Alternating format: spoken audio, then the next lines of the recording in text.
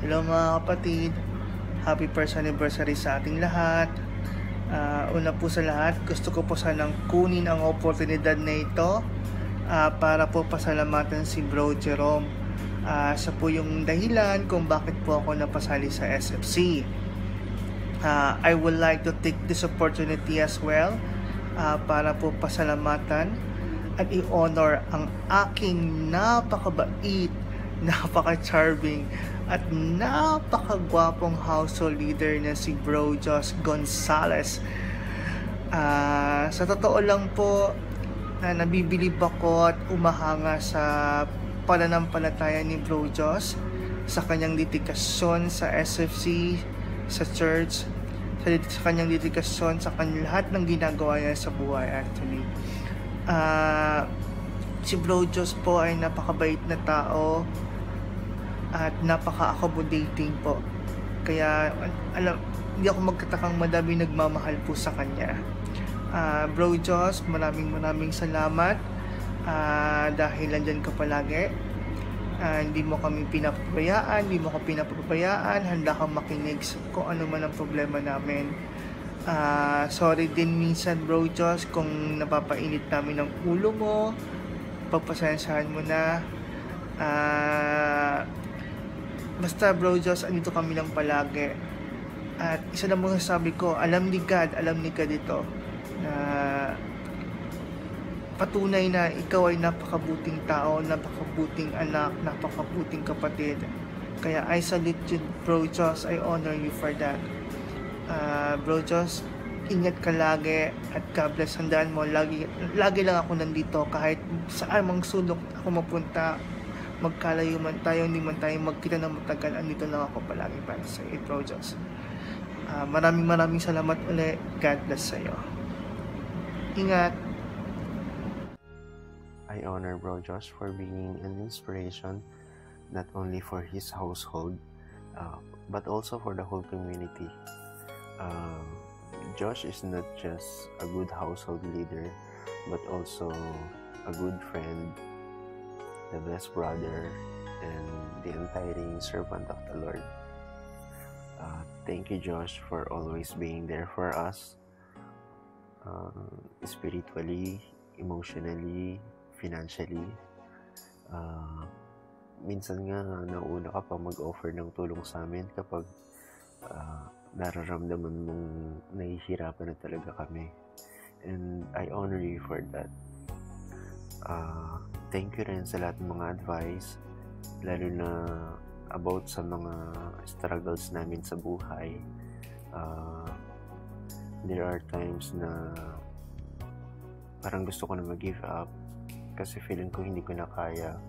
But having a brother like you makes me feel stronger. Uh, na makakaya ko lahat basta nandyan si God. Uh, yun lang. Uh, thank you, Diyos, sa lahat-lahat. And thank you for being a Christ in me. Yeah, thank you. Love you. Mwah.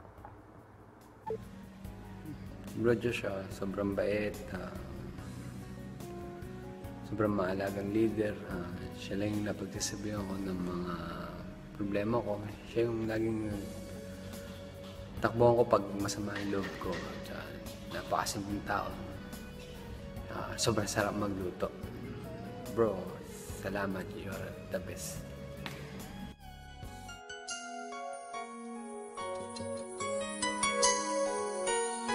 Thank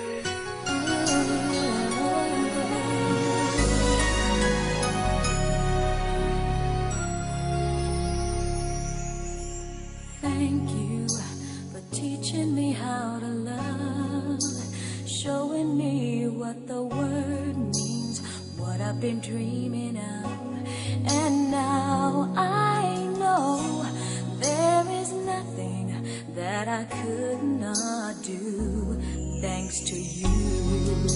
For teaching me how to feel, showing me my emotions, letting me know what's real from what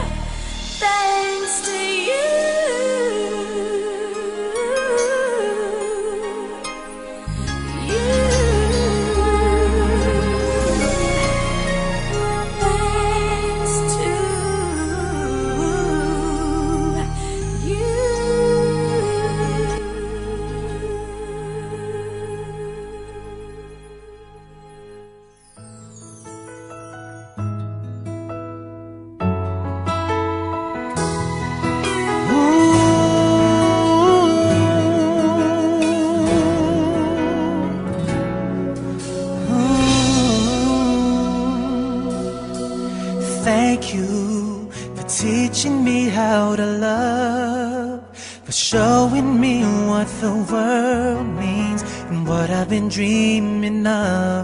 And now I know there is nothing that I could not do. Thanks to you for teaching me how to feel, for showing me my emotions, letting me know what's real from what is not. What I've got is more than I'd ever hoped for.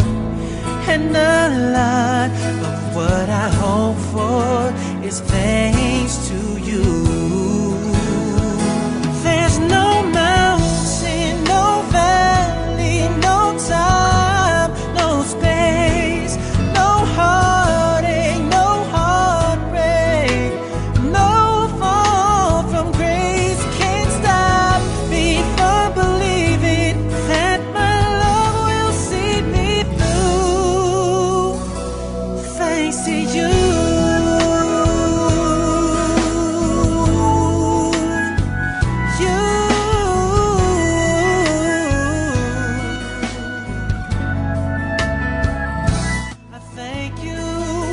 it's all because of you. There's no